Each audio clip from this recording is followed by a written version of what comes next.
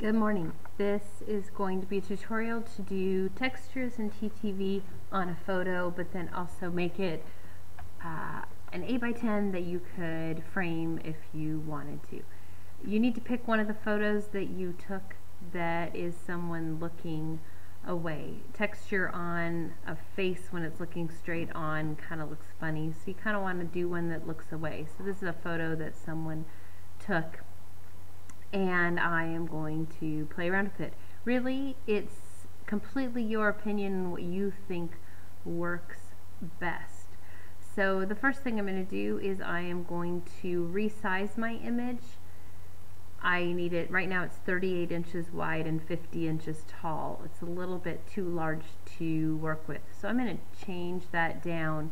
I'm going to make it um, an 8 by 10. So I'm going to make it 8 wide and 10 tall because uh, my photo is going up and down. If yours is going the other direction, you need to make it 10 wide and 8 tall. Make sure you make the resolution 300. We want as many pixels um, per inch as we can.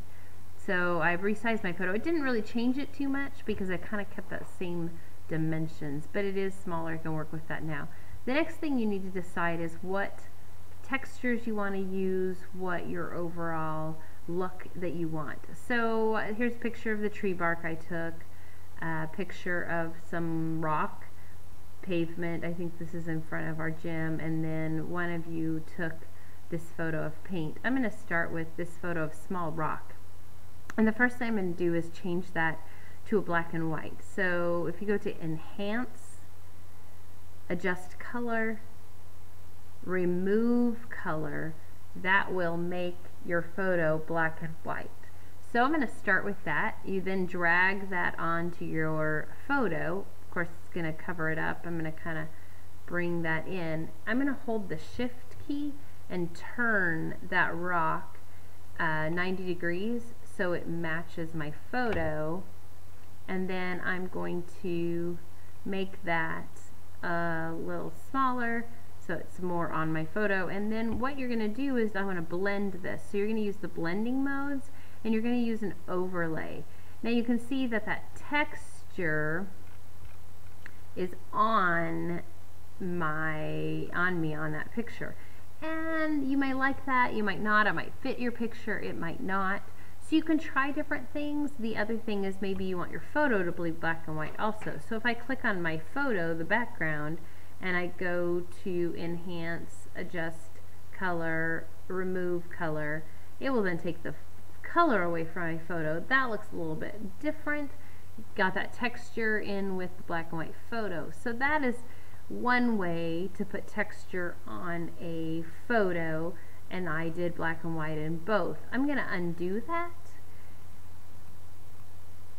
and uh, go back to my original photo I'm going to undo that. Now I could make this to a um, more of a sepia color. If you remember we went to our uh, adjustment layers and if we do photo filter we can use that sepia photo filter um, and then turn up the density of that color a little bit and then push OK. Now I can put that back over my photo.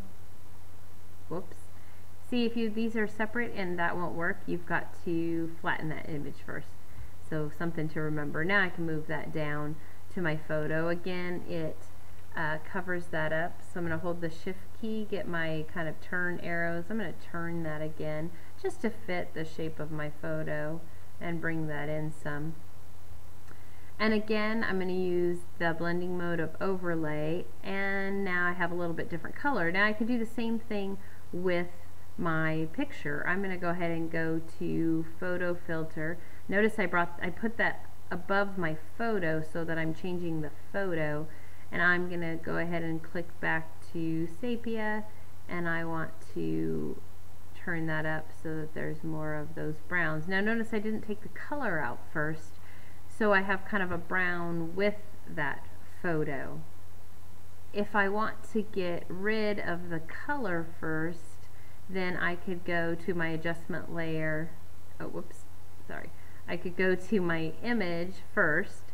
adjust the color, remove the color to make it black and white, and now I can add a photo filter to that and make that sepia and then turn that up and then I get those browns in the photo which is pretty cool. I kind of like that.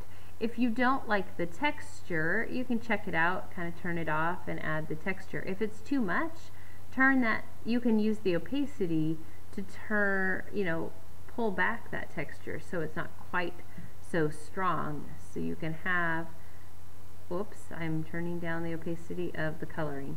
Make sure you're on the right layer. You can turn down the opacity of that texture and um, you know, bring it in just slightly if you want. I think I'm going to bring it in just slightly um, and play with that. Now there's a couple other things I want to do. I put a folder in your um, home directory.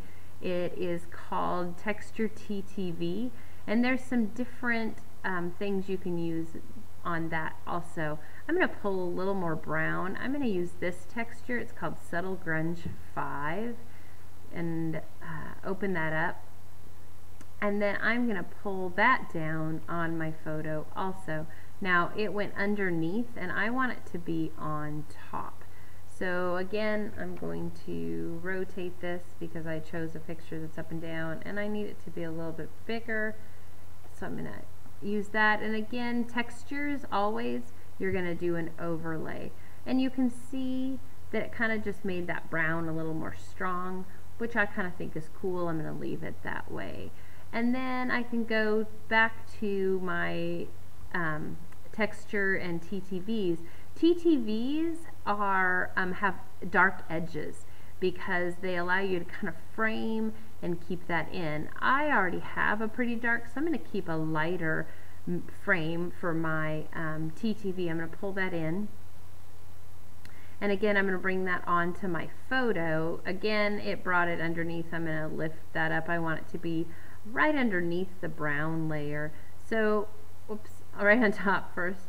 I need to make that um, bigger. First, I'm going to hold my shift key and turn that. Whoops, it's not quite straight, is it? Uh, hold my shift key and turn that to 90 degrees. And then I'm going to go right to the edge of my photo with this um, TTV texture. Now this is different. When you have these darker edges, I want that to show. So I am going to move that down underneath the brown, but I am still can't see myself. So you're going to, on this, you're going to use the blending mode multiply. And you can see that the dark edge still shows. Multiply makes the lighter part see-through and the darker part not see-through. I still think my brown is a little bit too much. I'm going to turn that, the opacity of that down just a little bit. So now I have um, my sepia brownish color with my texture plus a couple other textures on top of that. Now you can play around with it. If I move this one above, then it lightens it up a little bit. Um, if I turn this back up with the opacity, I have more browns with the lighter over the top. I actually kind of like that a little bit better, I think. So it's really playing around with what you want to have. Once you have your photo the way that you want it, you have all these layers over here.